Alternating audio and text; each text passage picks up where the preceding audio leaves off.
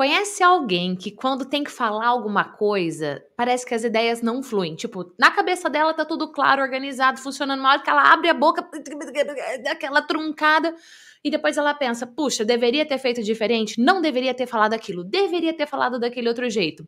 Esse vídeo é para te ajudar. Vou trazer quatro técnicas poderosas da psicologia e da neurociência para você melhorar sua comunicação, para você arrasar na sua comunicação. E sem tempo a perder, bora para técnica número um. Comunicação é ação. Como assim? É comunicação. É algo que você fala que gera uma ação. Então, aquele tipo de pessoa que fala, fala, fala, fala e depois nada acontece, a comunicação dela não é eficaz. Falando nisso, no final desse episódio, eu vou analisar minha própria comunicação e quais foram as técnicas que eu utilizei aqui com você. Fica ligado.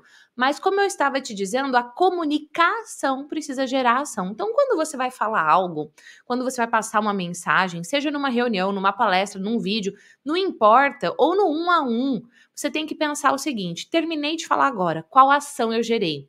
Qual resultado eu quero alcançar? Porque não é somente sobre falar mas é sobre ações para gerar resultado. E aí, para isso acontecer, é preciso que quem fala e quem recebe tenha uma conexão estabelecida. Por isso que comunicação, para gerar resultado, precisa ter conexão. Então você tem que pensar aí. Peraí, todas as vezes que eu passo alguma mensagem, que eu falo algo, eu estou gerando conexão com as pessoas? Se você não souber como gerar conexão, você não vai alcançar o seu resultado. Ou seja, você vai ser daquelas pessoas que fala, fala, fala e nada acontece depois. Técnica número 2. Quem você quer gerar conexão. Porque para você ter uma comunicação que gere resultado, que você alcance o seu objetivo, a comunicação precisa gerar ação no outro, para gerar ação no outro, precisa gerar conexão. Então, beleza, você tem que pensar com quem que eu quero gerar conexão. Por quê? Vamos supor, sei lá, que você foi convidado para dar uma palestra da sua área, do tema que você atua, daquilo que você domina.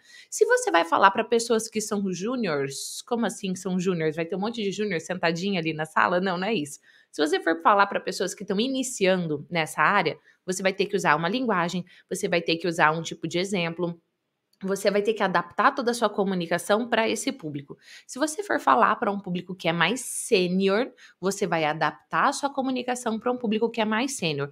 Às vezes, a forma de falar, os exemplos que você vai trazer, as citações que você vai fazer, se você for falar para um público sênior e você fizer aquela mesma apresentação que você montou para um grupo júnior, para um grupo que está começando, não vai gerar conexão. Então, o que é que você tem que responder? Com quem que eu quero gerar conexão? Quem que é o meu público? Para quem que eu vou me comunicar? E aí, isso vai determinar todo o resto da sua estratégia. Ou seja, conheça o seu público e fale com ele. E falando em fale com ele, Deixa seu like aqui e deixa seu comentário também. Se até esse momento já tiver gerado algum valor para você, comenta aí, hashtag valor. Bora para a técnica número 3.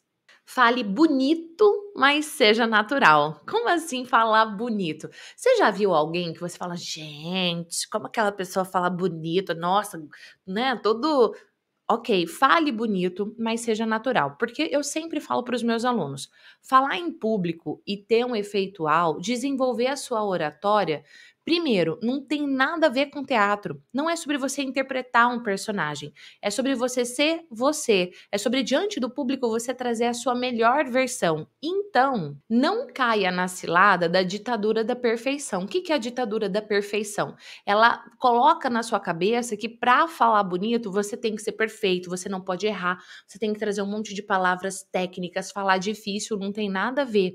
Não tem nada a ver, inclusive, com não cometer erros. Eu também sempre falo para os meus alunos: ser uau não tem nada a ver com ser perfeito.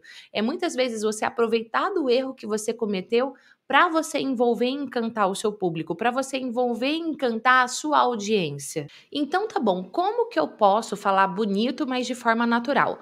Uma das formas que você pode fazer é não ter vícios de linguagem, né? Tá daí, OK, entende, faz sentido para você? Bem, Bom, um monte de palavras que não agregam na sua apresentação. Pessoas que cometem o erro do vício de linguagem, se elas tiram o erro, a fala delas já fica mais bonita, já fica mais envolvente. Então, se você tiver algum vício de linguagem, já risca da sua vida. Falando nisso, eu vou deixar um card aqui com uma playlist com vários vídeos dentro desse tema para te ajudar ainda mais. Agora, nesse canal aqui, ó, tem um monte de conteúdo desse formato. Se você é novo por aqui, já se inscreva, toca no sininho, porque daí o YouTube vai te avisar quando tiver episódio novo no ar. E trazendo a técnica número 2 junto com a técnica número 3, eu vou te dar um exemplo de como você falar de forma envolvente, gerando conexão, falando bonito, só que sendo extremamente espontâneo e natural. Vamos lá. É, como é que eu vou te dizer isso? Hum, tô aqui pensando um, num exemplo. Pausa. Acabei de trazer não vícios de linguagem, mas vícios de pensamento. Quando você vai pensar, construir um raciocínio, você fica. Hum, é, hum, isso também é um erro e não deixa sua fala bonita. Normalmente isso acontece quando a gente está construindo um raciocínio durante a fala. O que é que você vai fazer nesses momentos? Você não vai pronunciar som nenhum. Aproveita que você está pensando, pensa em silêncio e inspira, puxa o ar pelo nariz. Quando você fala, o ar sai. Quando você inspira, o ar entra. Então, essa daqui já é uma técnica que você pode fazer. E sabe que falando nisso, eu me lembro que quando eu era criança, meu Deus, eu falava muito daí, daí, daí. Eu ia contar uma história e eu falava, daí, logo em seguida aconteceu tal coisa, e daí depois cada duas palavras entravam daí. Quem me ajudou a perceber isso foi a minha mãe. Ela falava, minha filha, daí. Ela ficava me remendando. É remedando que fala? Quando você fala e o outro fica repetindo? Não, não me, me, esqueci a palavra. Comenta aqui, é remedando mesmo? Enfim, eu falava e minha mãe ficava repetindo. Aquilo me deixava muito, muito nervosa. E eu me lembro uma vez que a gente estava andando de carro e eu perguntei pro meu pai. Eu falei assim, pai, por que, que aquele carro tá escrito errado? E ele falou assim para mim: o carro não está escrito errado. Ele falou: ele está escrito que é para que eu, que sou motorista, consiga ler pelo espelho. Sabe que carro que era? Uma ambulância. E eu não tinha entendido por que, que a ambulância, quando eu olhava assim direto, estava escrito errado. Aí ele me falou: olha, olha aqui pelo espelho. Eu olhei e falei, nossa, tá escrito certo. Lembro que logo que eu cheguei em casa, eu peguei um papel, escrevi a palavra ambulância errado, coloquei no espelho para eu conseguir ler certo. Por que, que eu estou contando essa história para você? Porque eu estou trazendo à tona aqui as três técnicas de uma forma prática para você. Primeira técnica, eu falei para você, cadê aqui minha anotação? É a comunicação que gera ação. Então, qual é o resultado que você quer alcançar? O que eu quero aqui é que você entenda e aplique essas três técnicas. Segundo, como é que você gera essa conexão com o outro? Uma das formas de gerar conexão é contar história. O que, que eu acabei de fazer? Eu contei uma história. E a técnica número três é você falar bonito, só que sem vícios de linguagem. E ao contar a história, eu trouxe vícios de linguagem, que na verdade são vícios de pensamento, e depois eu contei a história limpa para você, sem nenhum vício. Só que enquanto eu contava, eu olhava no seu olho, eu fazia gestos marcados, eu olhava ao redor também. Olhar para o olho não quer dizer ficar o tempo inteiro ali com os olhos estatelado na pessoa, mas você está pensando, você olha para o lado, e você volta a olhar para a pessoa, enfim, eu estou fazendo aqui com você o que eu estou te ensinando. Ô Gislene Esquerdo, você não falou que você ia deixar só para o fim a análise? Não aguentei. Trouxe antes. Agora, talvez você tenha pensado: meu Deus, muito difícil fazer isso. Nossa, eu travo, eu não consigo. Se de repente você pensou, pô, eu travo, eu não consigo, vou deixar na descrição desse episódio um link para você fazer o download do livro que eu escrevi, que são sete erros que travam a pessoa na hora de falar em público. Ele vai te ajudar bastante. É só você tocar aí no link e fazer o download. Aproveita que tá de graça, tá bom? Agora vamos para a técnica número 4. Elo eloquência. Eloquência nada mais é do que um conjunto de comportamentos verbais e não verbais que empoderam a sua comunicação. Então, desde a postura até o olhar, até o tipo de gesto que a pessoa faz ou não. Vou te dar um exemplo. Eu acabei de dizer o tipo de gesto que a pessoa faz ou não eu fiz um gesto sutil, estratégico e marcado. O que seria um erro?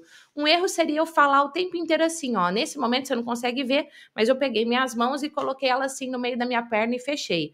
Outro erro também seria eu tô sentada numa cadeira giratória, eu ficar falando com você aqui, virando a cadeira para lá e para cá.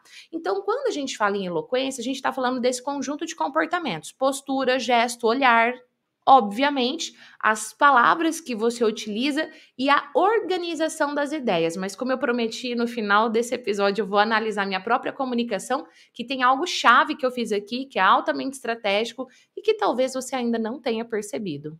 Falando em palavras, tem palavras que você deve riscar da sua comunicação. Uma delas, que eu sempre trabalho com os meus alunos também, é a palavra acho. Imagina que eu esteja conduzindo todo esse conteúdo para você aqui e eu digo assim: acho que vale super a pena você aplicar tudo isso daqui, porque eu acho esse conteúdo muito legal. Acho que vai dar certo para você.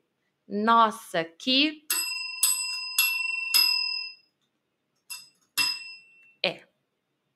que hum, hum, a cineta é maravilhosa, que eu não falo palavrão, mas é que às vezes eu queria tanto falar a palavra que péssimo fazer isso. Se você acha, não tem certeza, não fala, vai pesquisar antes, valida, depois você fala. Então, cuidado, porque o uso da palavra acho, então, até o microfone caiu porque o uso da palavra acho vai prejudicar a sua apresentação, vai passar uma imagem de amadorismo. Não é isso que você quer. Agora, como eu prometi, vamos analisar minha própria comunicação. Durante o próprio vídeo eu fui analisando. Agora eu vou destacar para você que eu olhei no seu olho, olhei também ao redor quando eu ia pensar trouxe história, fiz gestos estratégicos e marcados exatamente como eu fiz agora. E fazer gesto não é só com as mãos, eu fiz até com o meu ombro. É você trazer o conteúdo e você dar exemplos para deixar isso mais concreto, mais palpável para a audiência, porque muitas vezes as pessoas caem na maldição do conhecimento. Que raios é isso? É tão claro, é tão óbvio, é tão fácil aquilo que ela está falando, que ela fala como se todo mundo soubesse. Esse é um erro da maldição do conhecimento, cuidado para você não cair nele. E por fim, última análise que eu vou fazer é que eu trouxe todo o conhecimento por números. Por quê? Porque o cérebro funciona melhor por agrupamento, ele aprende melhor por agrupamento. Agora é a sua vez de aplicar tudo o que você aprendeu aqui e arrasar. Beijos e eu te vejo no próximo episódio. Tchau!